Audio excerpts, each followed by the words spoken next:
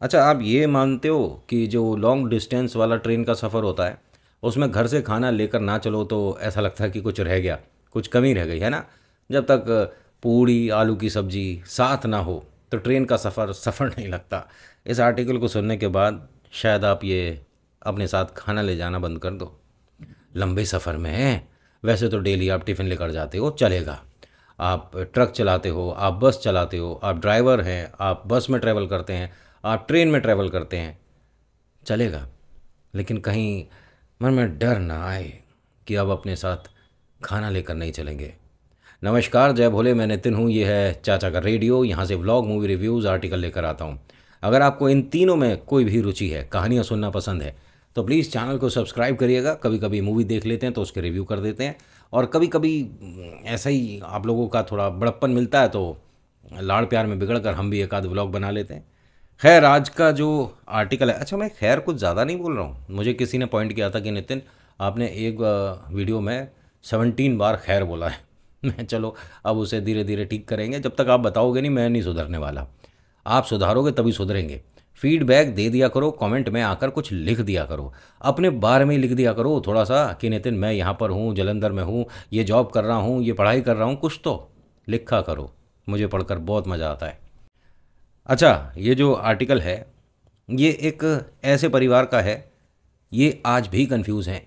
क्या वो इंसान था या हमारी भेंट एक प्रेत से हुई थी? कंफ्यूज हैं। जा रहे हैं जम्मू। इनकी ट्रेन है गाज़ियाबाद से। और कहते हैं कि अक्सर ये ट्रेन जब भी सुनो लेट हो रही थी। आधा घंटा लेट है, पंद्रह मिनट लेट है। हमारे रिलेटिव भी एक बार जब गए थे, और वैष्णो देवी के लिए उनका भी ट्रेन एक घंटा लेट हो गया था।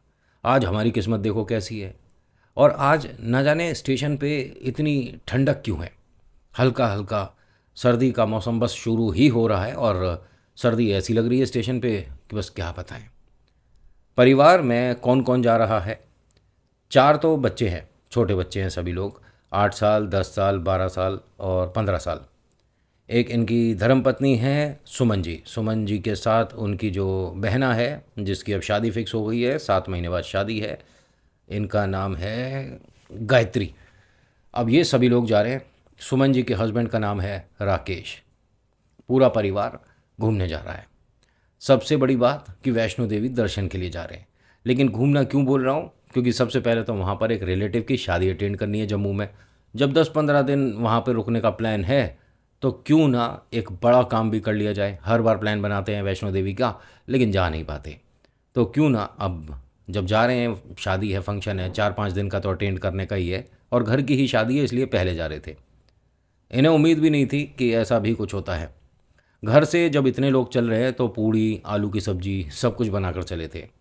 गाज़ियाबाद के स्टेशन पर खड़े थे, और सुमन जी अपनी बहना से कहती है कि हमने सारा काम तो ठीक कर लिया, बस पानी की बोतल रह गई।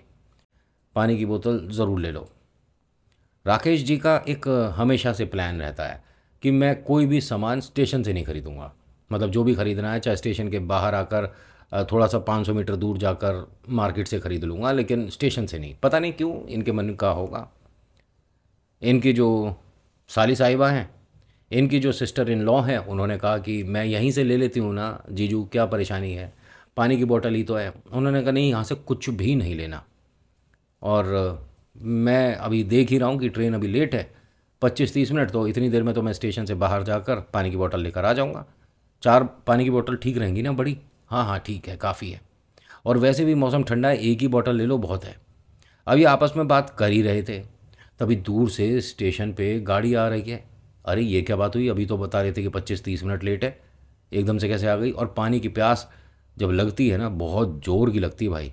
और सर्दियों की प्यास तो कंट्रोल भी नहीं होती है। यकीन मानिए, गर्मी की प्यास को आप थोड़ा सा देर रोक सकते हो, लेकिन जो सर्दी में प्यास लगती है ना, भाई, वो तो पानी चाहिए तो चाहिए।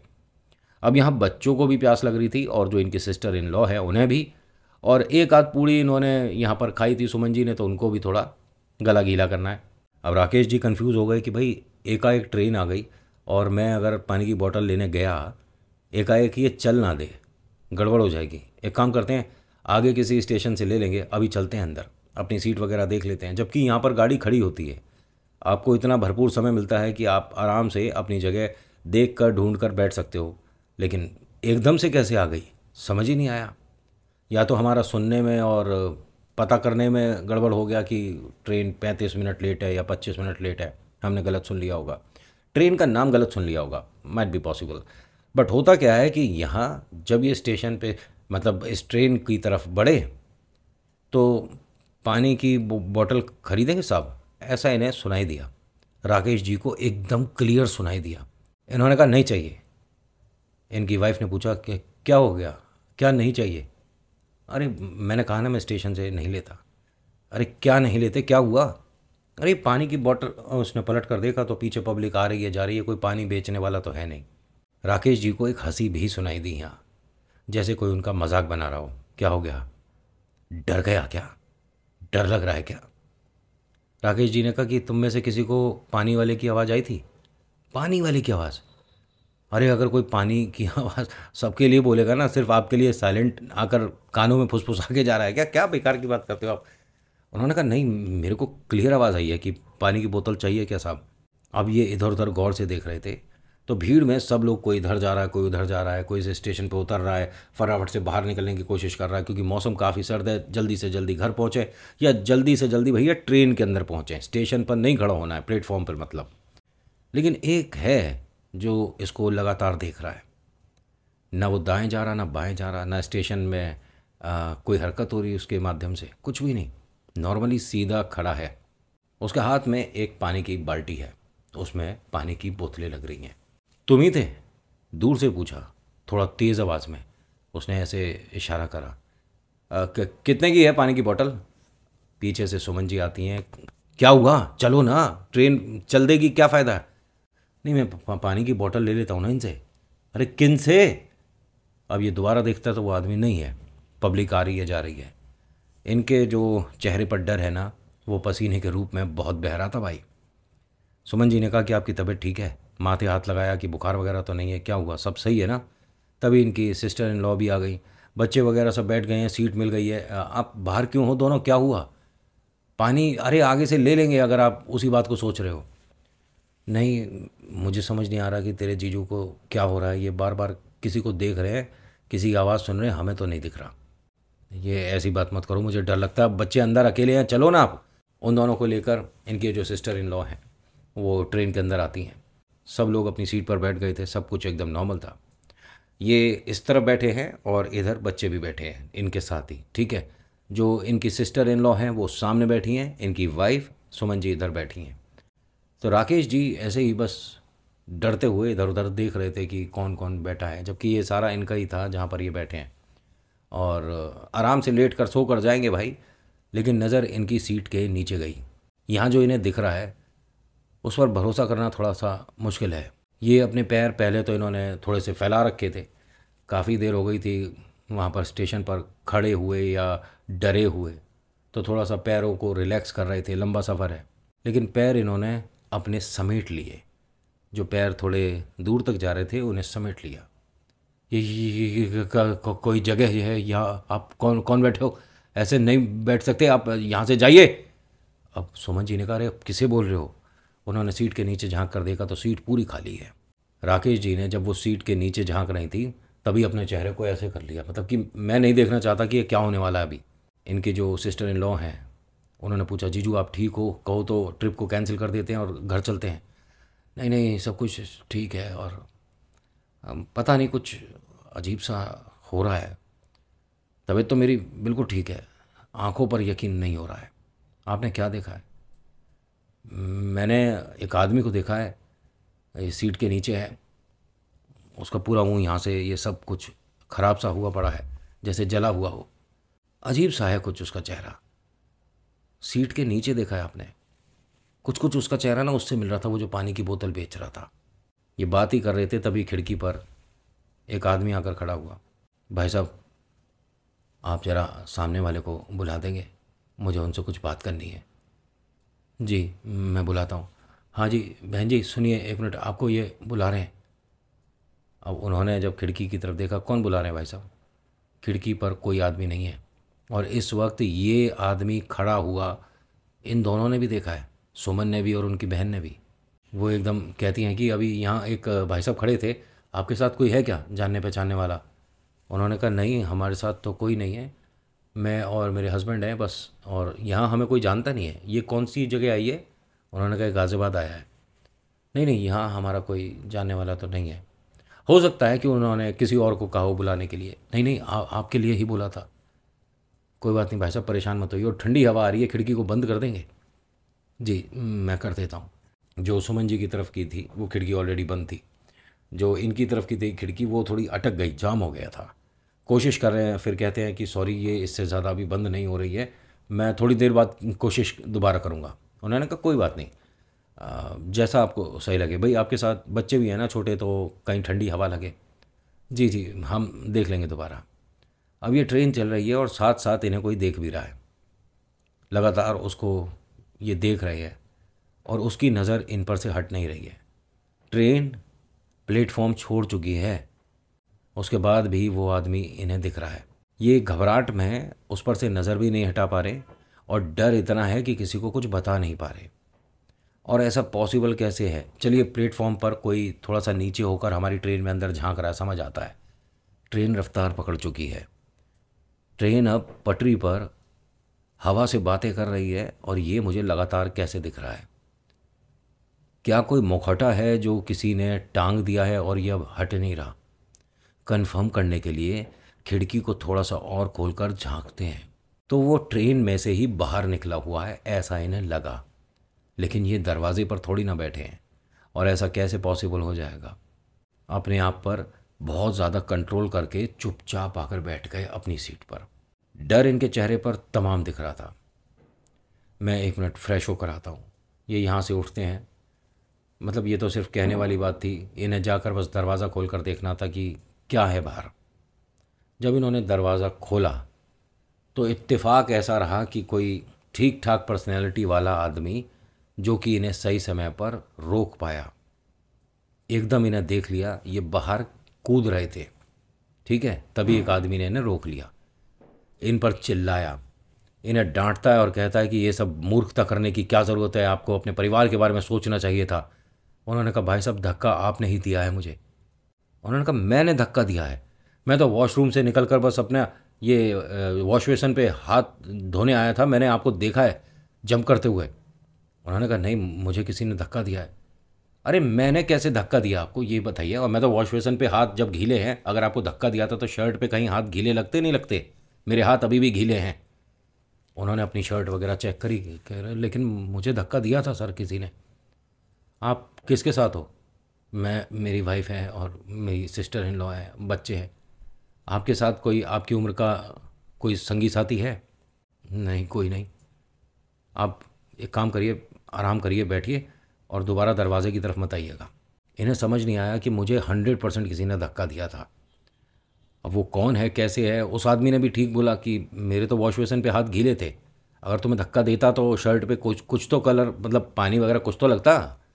या मैंने पहले हाथ पहुँचे, फिर उसके बाद तुम्हें धक्का दिया, फिर उसके बाद तुम्हें पकड़ लिया, है?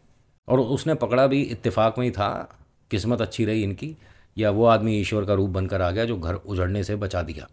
होता क्या है कि ये आकर यहाँ पर बैठे तो ये सारी बात बताते हैं। उन्होंने कहा, लेकिन आप दरवाज़ा खोल के मतलब कर क्या रहे थे? मैं उसी को चेक कर रहा था, अब मुझे यहाँ से नहीं दिख रहा, पहले दिख रहा था।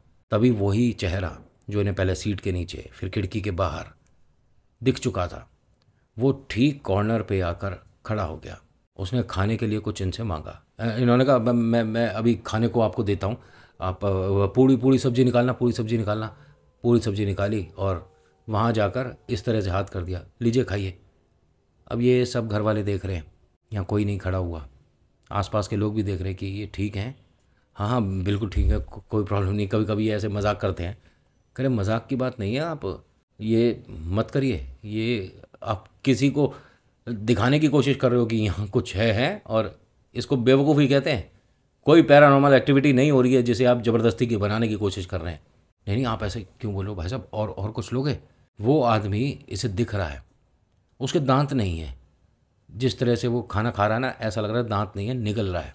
जैसे बुज़ुर्ग लोग बिना दांत के खाते हैं, उस तरह का पूरा, उसका सामने का गला हुआ सा है, साइड जला हुआ है। अजीब सा है कुछ। उसने इशारा करा कि हाँ और खाऊँगा। भाई साहब ये गिन कर लाए थे पूड़ियाँ। पैंतीस पूड़ी। ये खिलाया जा रहा है और कोई खाए जा रहा है। और किसी को नहीं दिख रहा क्योंकि पूड़ी सब ज़मीन पर गिर रही है। ले, लेंगे आप? लेंगे? और लेंगे? और छोड़ देता है। सबको दिख रहा है। और ये ये कह रहा है वो आदमी खड़े होकर पूड़ियाँ खा रहा है। घर वालों को समझ ही नहीं आ रहा। अब सोचिए जो निकल रहा है इधर से आ रहा है जा रहा है साइड हो जाते हैं थोड़ा सा। भाई साहब आप भी साइड हो जाइए। उसकी हाइट थोड़ी छोटी है। तीन, सवा तीन फीट का है ये, जो आदमी से दिख रहा था। और हर कोई ये कहता है कि क्या कर रहे हैं भाई साहब? अन्न का अपमान कर रहे हैं? ज़मीन पर क्यों फेंक रहे हैं ये आदमी? और एक आदमी जो कॉर्नर में बैठा हुआ था, वो बार बार उन पूड़ियों को थोड़ा सा साइड कर रहा था, किसी का पैर ना लगे। ये पच्चीस तीस मिनट तक चलता रहा। भाई साहब और कुछ लोगे आप? उसने इशारा कर दिया, नहीं, आप यहाँ बैठिए, आप भी जम्मू जा रहे हैं। अब ये ज़मीन पर ही बैठ गए भाई साहब। राकेश जी ज़मीन पर बैठ गए उस आदमी से बात करने के लिए। क्योंकि उसे सीट ऑफ़र कर रहे थे कि आप सीट पर बैठिए तो उसने मना कर दिया, नहीं, यहीं सही हो। ये बात कर रहे हैं उससे। जब वो इनका नया दोस्त ज़मीन पर बैठा तो ये भी ज़मीन पर बैठ गए, जिसने पूरा ये अपना बॉक्स रिज़र्व कर रखा है। सो कर जा सकता है, वो ज़मीन पर बैठा है, बस ऐसे। और भाई साहब, मैं अपनी पत्नी, अपनी सिस्टर इन लो बच्चों के साथ शादी में जा रहा हूँ। आप भी चलेंगे मेरे साथ? और कहाँ रहते हो? मैं वहाँ रहता हूँ। आपने बताया नहीं आप कहाँ रहते हो? बातें करे जा रहा है। यहाँ एक आदमी और आया। उसने इन्हें देखा और सीधा चला गया। वापस आया, देखता है। कहते क्या कर रहा है आदमी? आप मुझसे कह रहे हो कुछ? हाँ जी, आपसे कह रहा हूँ। आप ज़मीन पर क्यों बैठे हैं? रिजर्वेशन नहीं है क्या? नहीं नहीं, है ना। तो वाइफ और सिस्टर इन लोग कहती हैं कि ये हमारे साथ हैं और ना जाने क्या हो रहा है आधे घंटे से। इन्हें बोल रहे हैं कि सीट पर बैठ जाइए, नहीं बैठ रहे, ज़मीन पर बैठ रहे। उन्होंने कहा, कुछ लिया दिया, खा लिया क्या किसी का? किसी चीज़ पर पैर पड़ गया? कुछ बुरी चीज़ साथ लग गई क्या? इन्हें कहाँ ले जा रहे हो आप? उन्होंने कहा, हम जम्मू जा रहे हैं। पहले एक शादी अटेंड करनी है, फिर उसके बाद माँ वैष्णो के दर्शन करने हैं। तो ये क्या कहते हैं कि काम उल्टा कर लेना। पहले करना दर्शन और उसके बाद करना शादी अटेंड। क्योंकि हो सकता है कि भैरव बाबा इसे ठीक कर दें, जैसे ये ये आपको मैं कुछ बोलूँगा नहीं, आप दोनों ही हो बस, और ये बच्चे साथ में। उन्होंने कहा। जम्मू में कहाँ पर जा रहे हो आप शादी में? उन्होंने जगह बताई। तो इत्तेफाक देखिए, कहते हैं कि मेरे चाचा के बेटे की ही शादी है।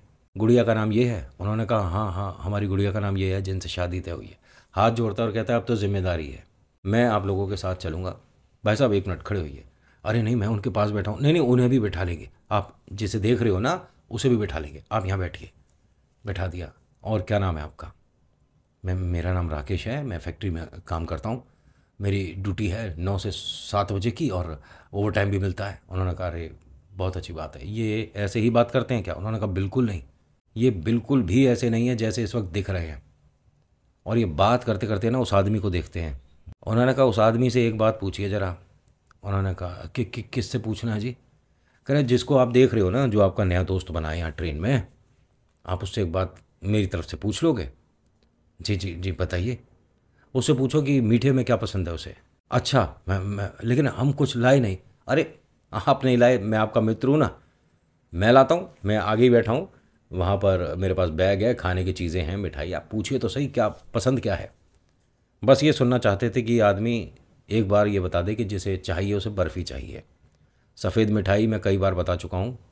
अगर कोई आपके घर सिर्फ़ दो पीस लेकर आ रहा है ना कटोरी में तो खैर, जो चीज़ बता दी उसे मैं दोबारा रिपीट करूँगा तो कहोगे कि अच्छा अपनी कही हुई बात को दोबारा रिपीट करता है। तू इस आदमी ने पूछा, राकेश ने, आप मिठाई खाओगे? उसने हाँ कर दिया। क्या क्या पसंद है आपको मीठे में? उसने बर्फ़ी, राकेश ने ही बोल दिया। उन्होंने कहा, ठीक है जी, मेरे को जो लग रहा था वही सही है। अब ये भाई साहब गए और दस मिनट बाद ना जाने कैसे, या तो इनके पास थी एक बर्फ़ी और एक बेसन का लड्डू। ये दोनों चीज़ें लेकर आए। बेसन के लड्डू पर यहाँ पर इन्हीं से कहा, सुमन जी से, कि ये जो आपके मांग भरी हुई है, इसका छोटा सा सिंदूर लेकर मेरे को दे दो। उन्होंने कहा, लेकिन ये, उन्होंने कहा, या तो आपके बैग में हो तो सिंदूर की डिब्बी मुझे दे दो, या आप जो लगा रखा है मांग में, उन्होंने कहा, इससे आप क्या करोगे? उन्होंने कहा, वो बाद में बता दूँगा मैं। जी, ठीक है, उन्होंने थोड़ा सा सिंदूर लिया और वो जो आदमी है, उनके सामने कर दिया। उन्होंने लिया, कुछ पढ़ा और सिर्फ़ लड्डू पे करा। ऐसे बंद करके दिया था। भाई साहब, लीजिए, ये अपने दोस्त को दे दीजिए। हाँ हाँ लेकिन उसने तो सिर्फ़ बर्फ़ी मांगी है, आप लड्डू भी दे रहे हो। और लड्डू पे आपने ये क्या निशान बना दिया? ये उसे पसंद आएगा।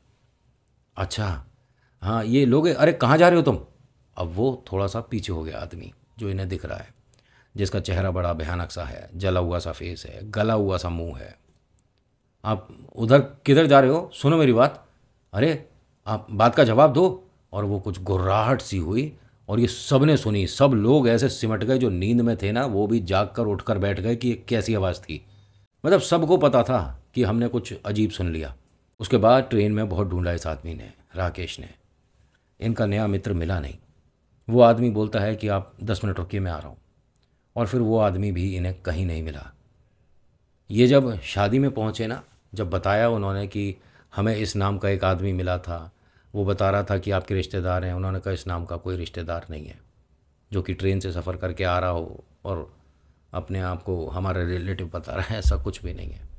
कौन मदद करके चला गया, इन्हें नहीं पता। वो चीज़ क्या दिख रही थी, नहीं पता। प्रेत, जिन्न, छलावा, क्या था, नहीं पता। इंसान तो नहीं था, क्योंकि भरी ट्रेन में एक ही स्टेप के बाद वो नहीं दिख रहा था। जैसा जो आया, वो पूरा मैंने एग्जैक्टली सेम आपको प्रस्तुत कर दिया। आपके ऊपर डिपेंड करता है, आपको कैसा लगा, बताना चाहिएगा। ठीक है? So thank you so much for watching मेरा नाम नितिन है। मुलाकात करूँगा एक नेक्स्ट वीडियो में। हर हर महादेव, जय भोलेनाथ। धन्यवाद।